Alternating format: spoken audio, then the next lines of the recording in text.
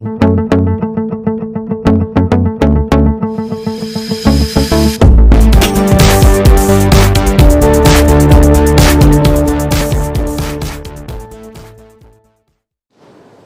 ಭಾಳ ಇಷ್ಟ ಆಗಿದ್ದು ಶ್ರೀಮುರಳಿ ನಮ್ಮ ಅಪ್ಪನ ನಮಸ್ಕಾರ ಮಾಡಿ. ಈ ಕಾರ್ಯಕ್ರಮವನ್ನು ಪ್ರಾರಂಭ ಮಾಡಿದ್ದು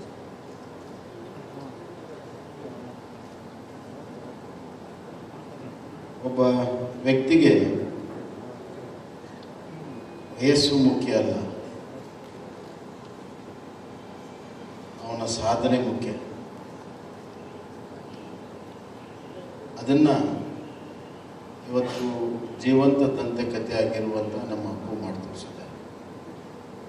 ಬಹುತೇಕವಾಗಿ ಎಲ್ಲ ಸಾಧಕರು ಸಣ್ಣ ವಯಸ್ಸಿನಲ್ಲಿ ಜಗತ್ತು ಬಿಟ್ಟು ಹೋಗಿದ್ದಾರೆ. ಆದರೆ ಬಿಟ್ಟು ಹೋಗುವಾಗ ನಾವು ಯಾರೂ ಕೂಡ ಮರೆಯದ ರೀತಿಯಲ್ಲಿ ಕಾಲಾತೀತವಾಗಿ ತಮ್ಮ ಹೆಜ್ಜೆ ಗುರುತುಗಳನ್ನು ತಮ್ಮ ನೆನಪಿನ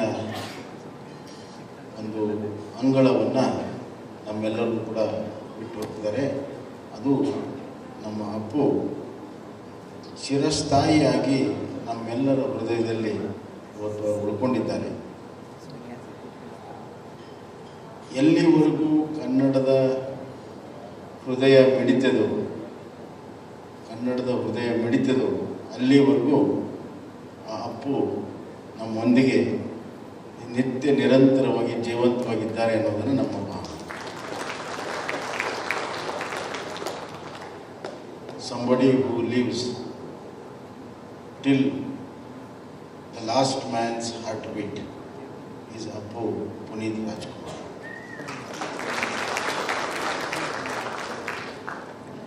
Swami ವಿವೇಕಾನಂದರು ಒಂದು ಮಾತನ್ನು ಹೇಳಿದರು. ಸಾಧಕನಿಗೆ ಸಾವು ಅಂತ್ಯವಲ್ಲ. ಸಾಧಕನಿಗೆ ಸಾವು ಅಂತ್ಯವಲ್ಲ. ನಾವು ಸಾಮಾನ್ಯವಾಗಿ ಸಾವು ನಮ್ಮ ಅಂತ್ಯ ಅಂತ ನಾವು ಭಾವಿಸ್ತೇವೆ. ಆದರೆ ನಿಜವಾದಂಥ ಸಾಧಕನಿಗೆ ಸಾವಿನ ನಂತರವೂ ಹೆಂಗೆ ಬದುಕಬೇಕನ್ನೋದು ಗೊತ್ತಿರುತ್ತೆ.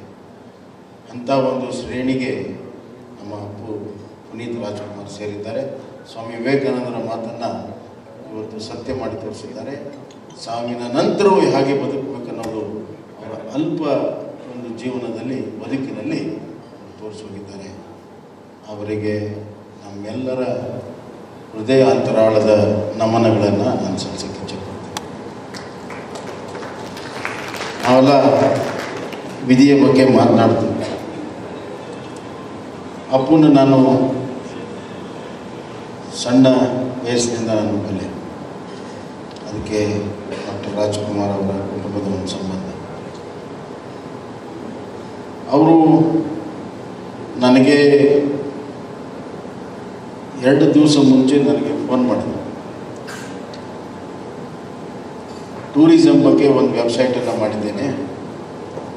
ನವಂಬರ್ ಒಂದರಂದು ತಾವೇ ಬಿಡುಗಡೆ ಮಾಡಬೇಕು ಅಂತ ಹೇಳಿ ನಾನು ಹೇಳಿದೆ, ಅಪ್ಪು, ಮೊನ್ನೆ ಬಂದಿದ್ದೆ ನಿಮ್ಮ ಕಾರ್ಯಕ್ರಮಕ್ಕೆ ಅಂತಂದೆ. ಇಲ್ಲ ಇಲ್ಲ ಇಲ್ಲ, ಮುಂದಿನ ಒಂದು ಶಬ್ದ ಮಾತಾಡಬೇಡಿ.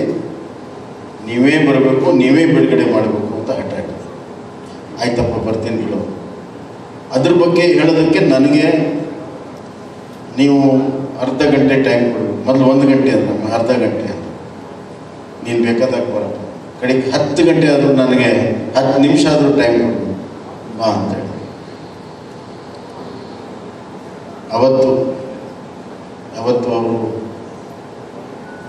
ಒಂದು ಇದು ಕಂಡರು, ಅವತ್ತೇ ನಾನು ಅಪಾಯಿಂಟ್ಮೆಂಟನ್ನು ನನ್ನ ಕಡೆಯಿಂದ ಅಪಾಯಿಂಟ್ಮೆಂಟನ್ನು ಅವರು ತೊಗೊಂಡಿದ್ದರು ಭೇಟಿಯಾಗಬೇಕಾಗಿತ್ತು ಆದರೆ ಇದೆಯಾ ಆಟ? ಮೇಲೆ ಒಬ್ಬನು ನನಗಿಂತ ಮುಂಚೆ ಅವನಿಗೆ ಅಪಾಯಿಂಟ್ಮೆಂಟ್ ಹೀಗಾಗಿ ಆ ಅಪಾಯಿಂಟ್ಮೆಂಟನ್ನು ಅಪ್ ಮಾಡೋದಕ್ಕೆ ಅಲ್ಲಿ ಹೋಗಿದ್ದಾರೆ. ನಾನು ನಾನು ಕೊಟ್ಟಿರುವಂಥ ಅಪಾಯಿಂಟ್ಮೆಂಟ್ಗೆ ಸದಾಕಾಲ ಕಾಯಲು ಸಿದ್ಧನಿದ್ದೇನೆ. ಮತ್ತೆ ಹುಟ್ಟಿ ಬರಲಿ ನಮ್ಮ ಅಪ್ಪು ಅಂತ ನಾನು